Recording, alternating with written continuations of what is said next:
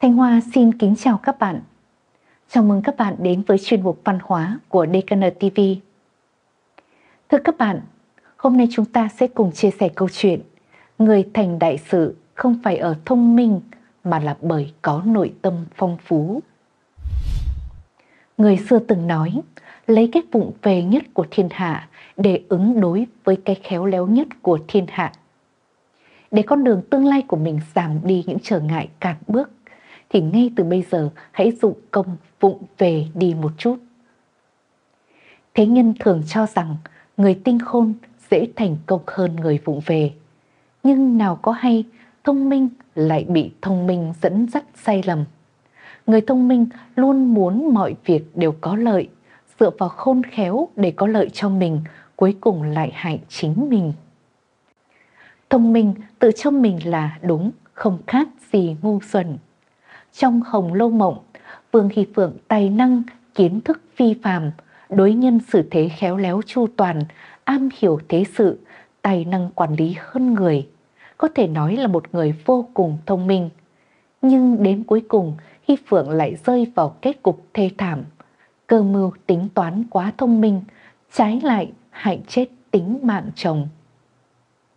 Thực ra, thông minh không phải là sai, nhưng nếu dùng thông minh vào mưu kế đấu đá, tranh hơn thiệt thắng thua, thì dẫu có thông minh như thế nào đi nữa cũng sẽ đầy khí hung bạo, đầu đầu cũng đắc tội với người ta, khiến người ta căm ghét, cuối cùng hại chính mình. Khổng tử nói, thái quá cũng như chưa đạt. Nguyên văn câu này có nghĩa là quá do bất cập. Làm bất kỳ việc gì cũng nên có mức độ thích hợp. Thông minh xử thế cần phải thu được tài năng sắc bén của mình, cất giấu được cái thông minh của mình. Thông minh thái quá là đại kỵ của bậc trí giả. Đạo đối nhân xử thế là ở ức chế chứ không phải khuếch trương, là ở cất giấu chứ không phải hiền lộ. Có lẽ Vương Hy Phượng đến chết vẫn không biết cái thông minh tự cho mình là đúng này, chẳng qua chỉ là cảm bẫy hại chính mình. Dưới con mắt người khác thì đó lại là một hành vi ngu xuẩn. Vương Hy Phượng, thông minh uy quyền khiến ai cũng nể sợ, nhưng băng tan tuyết chảy, kết cục của cô bi thảm như mọi người. Đẹp đất kim lăng. Người thành đại sự không phải ở thông minh. Lão Tử nói, thông minh nhỏ không làm nên trí tuệ lớn. Tính toán nhỏ cũng không xứng là thông minh. Người thực sự có trí tuệ là người mà trong mắt thế nhân thường cho là kẻ ngốc. Sử ký có chép chuyện khổng tử khi còn trẻ đã từng đến thỉnh giáo lão tử về đạo lý làm người. Lão tử nói, thương nhân giỏi là người khéo cất giấu như không có của cải gì. Người quân tử có đức lớn thì dung mạo trông như ngu ngốc. Nguyên văn, lương cổ thâm tàng nhược hư, quân tử thịnh đức dung mạo nhược ngu. Lão Tử nói với khổng tử rằng một thương nhân đầu óc thông minh sẽ cất giấu hàng hóa tài sản để không ai có thể nhìn ra ông ta giàu có. Tuy ông ta rất giàu có, nhưng bề ngoài lại giống như người nghèo khó không có thứ gì.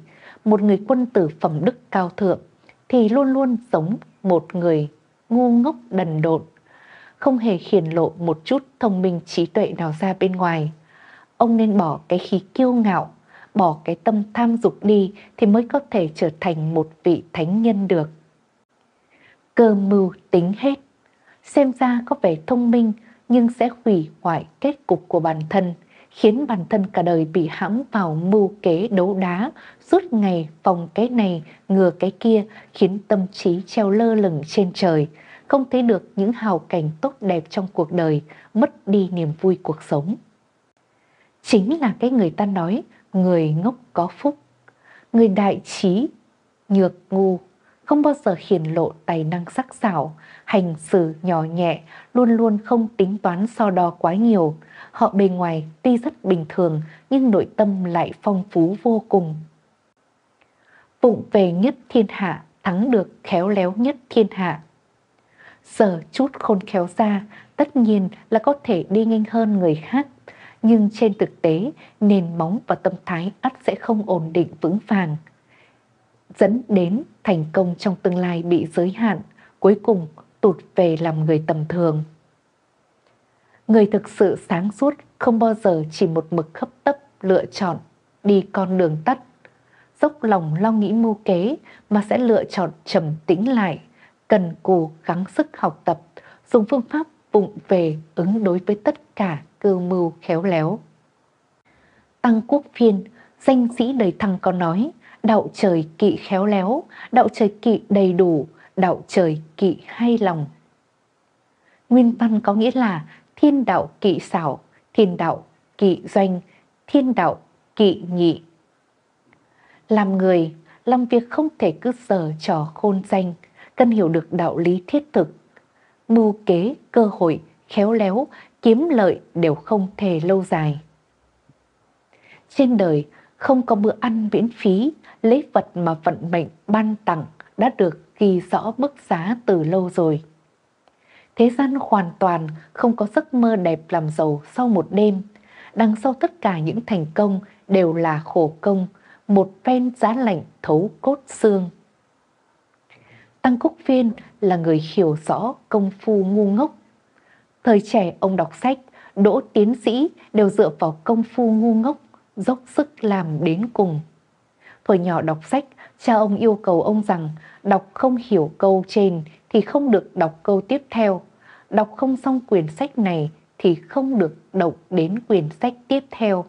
Làm không xong các nhiệm vụ trong ngày thì tuyệt đối không được đi ngủ. Ông không biết kỹ xảo, đường tắt, chỉ biết một con đường đi liền một mạch, không đến tận cùng, không quay đầu. Chính phương thức học tập ngu đần như thế này đã khiến ông tạo dựng được tinh thần cần cù cố gắng, chịu khổ, thiết thực vượt lên nghịch cảnh hơn người thường. Cũng chính vì dốc sức ngu ngốc như thế này, ông mới gây dựng được nền móng vững chắc, gieo những hạt giống tốt cho con đường khoa cử, quan lộ về sau. Chúng ta sẽ phát hiện ra người ngốc nghếch đều không biết khéo léo thủ lợi. Gặp vấn đề họ chỉ biết kiên trì lao vào, do đó cũng không để lại góc chết. Trái lại, những người khôn lanh đều không muốn dốc sức khổ nhọc, gặp khó khăn thì chạy vòng qua, nền móng không tạo dựng được kiên cố. Do đó, vụng về xem ra có vẻ chậm chạp, thực tế lại là nhanh nhất, là một cách làm cực kỳ sáng suốt. Bởi vì không khéo léo thủ lợi nên không để lại cái xấu, không xuất hiện cái sai nên thắng tất cả những cơ mưu khéo léo. Có câu ngạn ngữ rằng tinh khôn ba phần, ngốc nghếch ba phần, để lại ba phần cho cháu con. Làm người, làm việc đều không nên quá tinh khôn, không nên hiển lộ tài năng sắc sảo, nên hiểu được ẩn dấu trí tuệ, là một người sáng suốt, vụng về, đại trí nhược ngu. Trong cuộc so tài giữa tinh khôn và vụng về, tinh khôn ba phần thì người không tụ đến, ngốc nghếch ba phần thì đường mới rộng mở.